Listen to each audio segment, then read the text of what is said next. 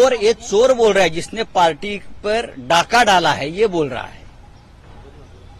चोरी की, ये मान्य किया। ये कैसे लोग है, जिस पार्टी चोरी की? चोर कौन है? चोर को मदद किसने किया? चोर को मदद करने वाले प्रधानमंत्री, गृहमंत्री, चुनाव आयोग, ये तो चोर के साथीदार है ना, चोरों के सरदार है, और यही बोल रहे इसीलिए तो हमको ये देश में परिवर्तन लाना है और संविधान की रक्षा करनी है। सर पीएम बोल रहे ये हैं। बोल कि रहे हैं, जब जो पार्टी नहीं संभाल उद्धव सकते तो ठाकरे देश की क्या पार्टी- संभालेंगे? उनको वोट मत दीजिए। देखिए अच्छी बात कही।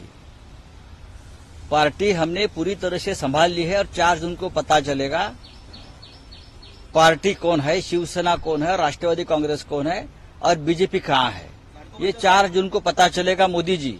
सर का कहना है कि जो नकली शिवसेना उसका जाएगा कांग्रेस में। चुनाव के बाद क्या नक्कीच देशाच्या प्रधानमंत्र्यांच्या रोड शो साठी जे आता कार्यवाहक प्रधानमंत्री आहेत त्यांच्यासाठी दुपारी बारा वाजल्यापासून मुंबईचे रस्ते मेट्रो ट्रेन ट्रेन्स रेल्वे कार्यालय हा हे सगळं बंद केलं. लोकांचे किती हाल झाले? निवडणूक आयोग आहे कुठे? आचारसंहिता आहे कुठे? कोणासाठी? अशा प्रकारे प्रचार या देशात कधी झाला नव्हता.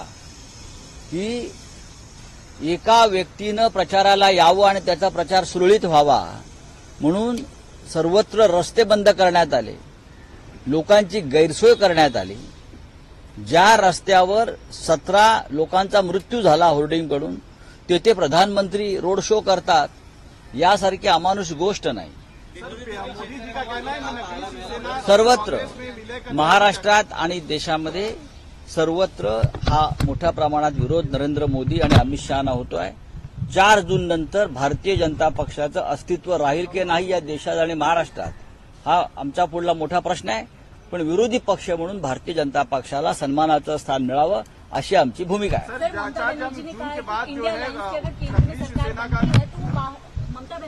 कहा है कि इंडिया अलायंस की अगर केंद्र में सरकार बनती है तो बाहर से समर्थन देंगी।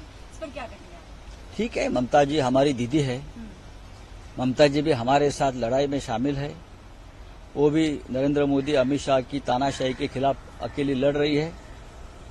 वो हमारे साथ ही रहेंगी चाहे अंदर हो या बाहर हो। ममता जी हमारी दीदी है और वो दीदी ही रहेंगी सर चौदह मई को आपकी इंडिया अलायंस की एक बड़ी रैली मुंबई में है। कौन कौन से नेता आ रहे हैं? पापाची नाही यांच्या बापाची आहे. बाप कोण आहे आणि पाप कोण आहे कळेल यांच्या बापाची आहे. सर तारीख को कौन कौन तो हमारे साथ देखते रहिए फाइट अगेंस्ट क्रिमिनल चैनल और पढ़ते रहिए fight against criminal daily newspaper आज की खबर में बस इतना ही। वीडियो को लाइक करें और चैनल को सब्सक्राइब कर लें जिससे आने वाली वीडियो की नोटिफिकेशन आपको मिलती रहे।